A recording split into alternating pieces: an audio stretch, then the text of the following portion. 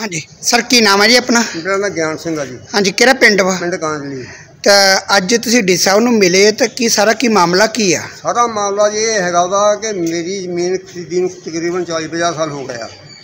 ਉਸ ਜ਼ਮੀਨ ਨੂੰ ਜਿਹੜਾ ਸਾਈ ਹੈਗਾ ਵਾ ਮਨਿੰਦਰ ਸਿੰਘ ਤੇ ਉਹਨੇ ਮਤਲਬ ਉਹਦਾ ਰਿਸ਼ਤੇਦਾਰ ਲਗਾ ਹੋਇਆ ਉਹਦਾ ਸਾਰਾ ਲਗਾ ਹੋਇਆ ਤਹਿਸੀਲਦਾਰ ਦਾ ਰੀਡਰ ਉਹਨਾਂ ਮਿਲ ਕੇ ਤੇ ਮੇਰੀ ਜ਼ਮੀਨ ਜਿਹੜੀ ਮੈਨੂੰ ਟੋਏ ਪਾਤੇ ਆ ਤੇ ਜਿਹੜੀ ਮੇਰੀ ਜ਼ਮੀਨ ਚੰਗੀ ਉਹਨੇ ਆਪ ਨੂੰ ਪਵਾ ਲਈ ਆ।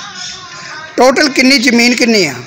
ਉਹ ਤਕਰੀਬਨ ਮੇਰੀ ਜ਼ਮੀਨ ਦੋ ਕਨਾਲ ਮਤਲਬ ਤਿੰਨ ਕਨਾਲ ਆ। ਤੇ ਜਿਹੜੇ ਮੇਰੇ ਭਤੀਜਿਆਂ ਦੀ ਆ ਉਹਨਾਂ ਦੀ ਕਿੱਲਾ ਕਿੱਲਾ ਵਾ। ਤੇ ਸਾਰਿਆਂ ਦੇ ਨਾਲ ਇਦਾਂ ਹੀ ਕੀਤੀ ਇਹਨਾਂ। ਤੁਹਾਡਾ ਕਹਿਣ ਦਾ ਮਤਲਬ ਕਿ ਤੁਹਾਨੂੰ ਜਿਹੜੇ ਕਿ ਕੇਸ ਚੱਲਦੇ ਮੇਰੇ ਜੀ ਇੱਥੇ। ਅੱਛਾ ਕਿੰਨੇ ਟਾਈਮ ਹੋ ਗਏ ਕੇਸ ਚੱਲਦੇ ਨੂੰ ਕੇਸ ਚੱਲਦੇ ਨੂੰ ਤਕਰੀਬਨ 3-4 ਸਾਲ ਹੋ ਗਏ ਆ।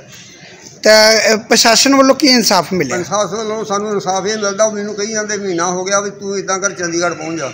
ਇੱਥੇ ਨਹੀਂ ਕੁਝ ਵੀ ਹੋਣਾ।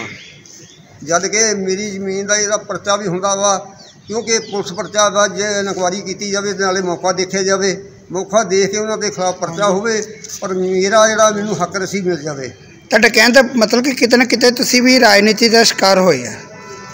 ਨਹੀਂ ਜੀ ਮੈਂ ਮਤਲਬ ਰਾਜਨੀਤੀ ਮੈਂ ਜਾਣਦਾ ਹੀ ਨਹੀਂ ਕੀ ਹੁੰਦੀ ਆ। ਤਾਂ ਹੁਣ ਤੁਸੀਂ ਗਾਂ ਪ੍ਰਸ਼ਾਸਨ ਤੋਂ ਤਾਂ ਸਰਕਾਰ ਤੋਂ ਕੀ ਮੰਗ ਕੀ ਕਰਦੇ? ਉਹਨਾਂ ਕੋਲ ਮੰਗ ਇਹੀ ਕਰਦਾ ਮੈਨੂੰ ਇਨਸਾਫ ਮਿਲ ਜਾਵੇ ਤੇ ਜਿਹੜੀ ਉਹ ਅ, ਮੌਕਾ ਦੇ ਕੇ ਇਨਕੁਆਰੀ ਕਰਕੇ ਤੇ ਜਿਹੜੇ ਅਫਸਰਾਂ ਨੇ ਕੀਤਾ ਉਹਨਾਂ ਦੇ ਖਿਲਾਫ ਪਰਚੇ ਹੋਣ।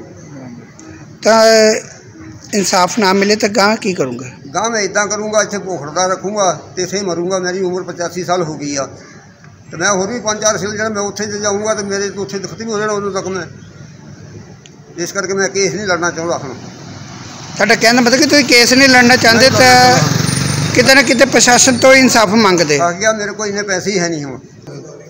ਦੇਖੋ ਜੀ, ਮੇਰੀ ਹਮੇਸ਼ਾ ਤੋਂ ਇਹ ਮੰਗ ਰਹੀ ਆ ਕਿ ਸਾਡੇ ਹਲਕੇ ਦੇ ਵਿੱਚ ਜਿੱਥੇ ਵੀ ਕਿਸੇ ਨਾਲ ਕਿਸੇ ਵੀ ਤਰ੍ਹਾਂ ਦਾ ਕੋਈ ਧੱਕਾ ਹੁੰਦਾ, ਉਹ ਜਦੋਂ ਮੇਰੇ ਕੋਲ ਅਪਰੋਚ ਕਰਦੇ ਆ, ਮੇਰੀ ਪਹਿਲ ਦੇ ਆਧਾਰ ਤੇ ਮੰਗ ਹੁੰਦੀ ਕਿ ਉਹਦੀ ਜਿਹੜੀ ਮਦਦ ਕੀਤੀ ਜਾਵੇ।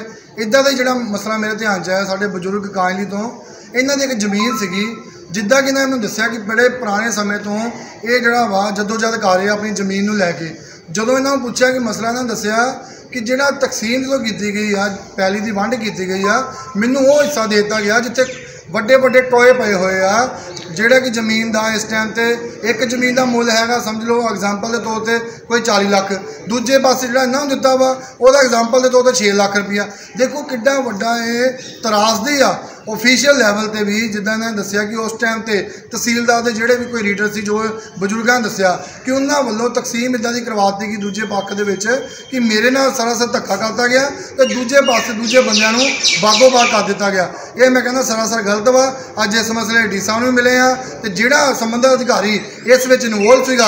ਉਹਦੇ ਖਿਲਾਫ ਸੋਮਵਾਰ ਨੂੰ ਜਿੰਨੇ ਪਿੰਡ ਵਾਸੀ ਆ, ਜਿਹੜੇ ਇਹਨਾਂ ਦੇ ਸੱਜਣ ਆ, ਉਹਨਾਂ ਦੇ ਸਾਥ ਦੇ ਨਾਲ ਐਸਡੀਐਮ ਸਾਹਿਬ ਨੂੰ ਇੱਕ ਰਿਟਨ 'ਚ ਕੰਪਲੇਂਟ ਦਵਾਂਗੇ ਕਿ ਜਿਹੜਾ ਦੁੱਧ ਦਾ ਦੁੱਧ ਤੇ ਪਾਣੀ ਦਾ ਪਾਣੀ ਕੀਤਾ ਜਾਵੇ, ਕਿਉਂਕਿ ਹਲਕੇ ਦੇ ਵਿੱਚ ਕਿਸੇ ਵੀ ਬਜ਼ੁਰਗ ਨਾਲ ਕਿਸੇ ਵੀ ਵਿਅਕਤੀ ਨਾਲ ਜੇ ਵੀ ਕਿਤੇ ਕੋਈ ਸਾਜ਼ਿਸ਼ ਹੁੰਦੀ ਆ, ਮੇਰਾ ਉਹ ਫਰਜ਼ ਵਾ ਕਿ ਉਸ ਬੰਦੇ ਦੀ ਮਦਦ ਕਰਾਂ, ਕਿਉਂਕਿ ਰਸੂਖਦਾਰ ਬੰਦਾ ਦੀ, ਅਮੀਰ ਬੰਦਿਆਂ ਦੀ ਜਾਂ ਤਾਕਤਵਰ ਬੰਦਿਆਂ ਦੀ ਮਦਦ ਹਰ ਕੋਈ ਕਰ ਲੈਂਦਾ ਵਾ। ਮਦਦ ਉਸ ਬੰਦੇ ਦੀ ਕਰਨੀ ਬਹੁਤ ਜ਼ਰੂਰੀ ਆ। ਅੱਜ ਦੇ ਸਮੇਂ 'ਚ ਜਿਸ ਬੰਦੇ ਨੂੰ ਲੋੜ ਆ, ਜਿਸ ਬੰਦੇ ਨਾਲ ਧੱਕਾ ਹੋਇਆ ਤੇ ਜਿਸ ਬੰਦੇ ਦੀ ਕੋਈ ਬਾਹ ਨਹੀਂ ਫੜਦਾ। ਸਾਨੂੰ ਜਦੋਂ ਬਜ਼ੁਰਗਾਂ ਨੇ ਜਦੋਂ ਇਹ ਮਿਲੇ ਸੀ ਤੇ ਮੈਂ ਇਹਨਾਂ ਨੂੰ ਆਸ਼ਵਾਸਨ ਦਿੱਤਾ।